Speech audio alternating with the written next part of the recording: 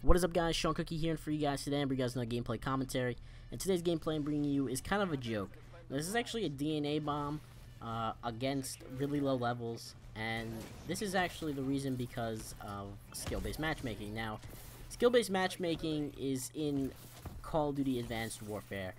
Um, I didn't know this until about today uh, when I saw a bunch of people tweeting about how they were versing constant sweaties which obviously means like pub stompers, you know, YouTubers, trick shotters, whatever, versing just really good players or people who go into parties and stuff like that.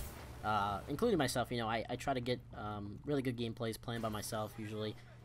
And it kind of sucks to find out that they have added skill-based matchmaking again to Call of Duty. You know, they took it from Treyarch, from Black Ops 2. Like, I understand they wanted to try it out, see how it would do.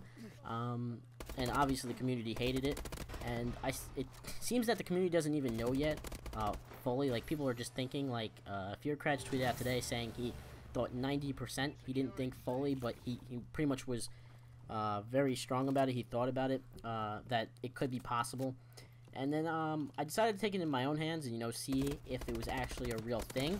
So what I did was actually make a silver account and play. And this is actually my first game online uh, with this account. So pretty much like I got a DNA bomb in the first game. Which, you know, I wasn't playing, obviously I was sitting in a corner, I was, you know, I was running around, but, you know, these are not, they've never played the game before, these players are not that good. Um, they're all level 1s, besides, like, one player was, like, a level 6. And I actually come out of this game with, like, a 12 KD, it was, like, retarded. Um, but you can see there, I just got the DNA bomb, and I called it in.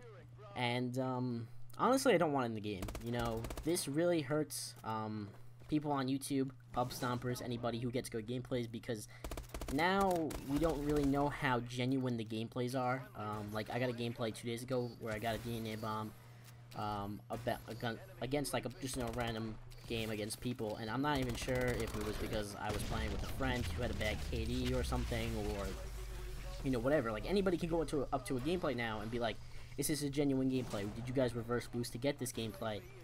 And it kind of sucks that uh, now we can't really tell if the gameplays are genuine anymore. Um, it's, it's, I feel like things like this in the game are gonna ruin it. Um, and I think this Call of Duty is pretty good compared to like Ghost or even Black Ops 2. I'll say this game is even better than Black Ops 2 at this point. Um, but they really need to take out uh, skill-based matchmaking, and you know, it's just my opinion. And like I said, it's just, it's a thing that's gonna hurt YouTubers uh, in the end because like I said, I could just go up to anybody's video and just be like, is this a genuine gameplay? Um, is this legit? Um, did you do anything to, you know, try to get these noobs or, you know, are you even a good player? And it even gets worse when um, this account was actually free. I didn't. I made the account on Xbox One. And I'm not sure if they're having like a free Xbox Live week or something. But um, it seems that you could play Call of Duty Advanced Warfare right now with a silver account. I'm not sure if this is a real thing right now.